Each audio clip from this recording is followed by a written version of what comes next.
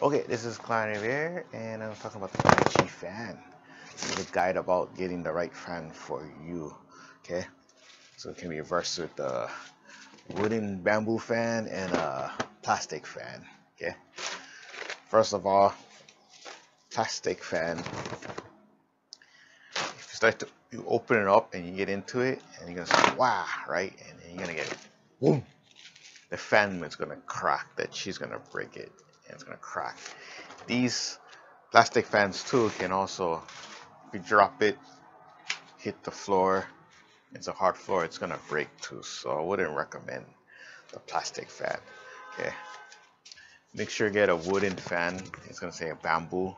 Bamboo is a lot more durable. It's gonna last you for a very long time. Yeah, it can handle the opening up and the closing real bad, real good. Yeah. Okay. So again doesn't matter you're gonna have find all different patterns. It's always nice when the, it blends into the the fan itself otherwise you see the framework right? So let's make sure it's a bamboo fan okay? Now another one that you don't want is something that says double okay? Because some people might not want this and say oh I'll have the fan like this. Okay okay? So what happens with this? Nice paper fan. Paper style fan. That's the thing with the modern materials too yeah. Paper you don't want to get uh, the water can ruin it too yeah. This is might be water resistance but double side looks really nice but it's not gonna work with your fan.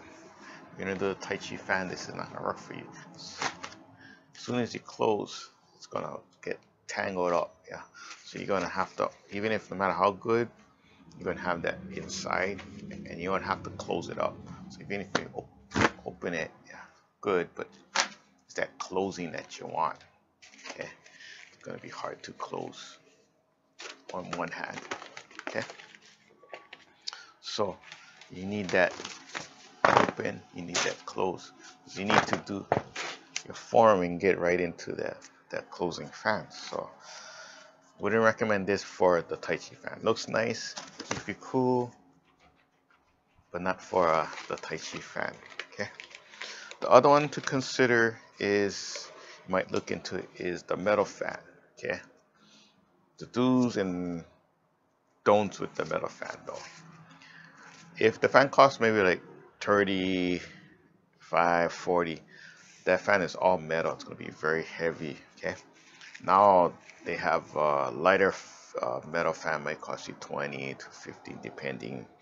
Okay, but the difference with the other one is the end is hard metal, then the frame is more like a like a aluminum soft. Okay, so that's gonna help with the weight. Okay, that makes a huge difference there. Okay, um, if you have weak um, wrists, you don't want to use the, the iron fan as soon as possible, yeah, because you want to wait. Use the bamboo fan first, so you get used to, to the weight. Otherwise, it's gonna um, you're gonna hurt yourself because you're using this, and we're going slow too, yeah.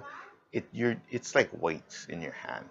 Okay, it's good. Some people are gonna want the iron fan first because they're like, yeah, I need to feel like there's something there and it's cool, it's heavy feel it. But I would recommend start off with a wood fan, then you can get your metal fan. Okay, get used to working with your fan before you start going into a into the metal fan. Okay.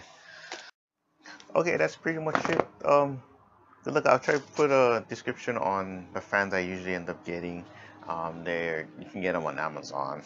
Um, these two companies, I think I I grab from them a lot more. So you're gonna have fun with a lot of variety of colors and patterns. Um, you can look within the bamboo fans or even the ray fans but just make sure to go for the bamboo wooden fans.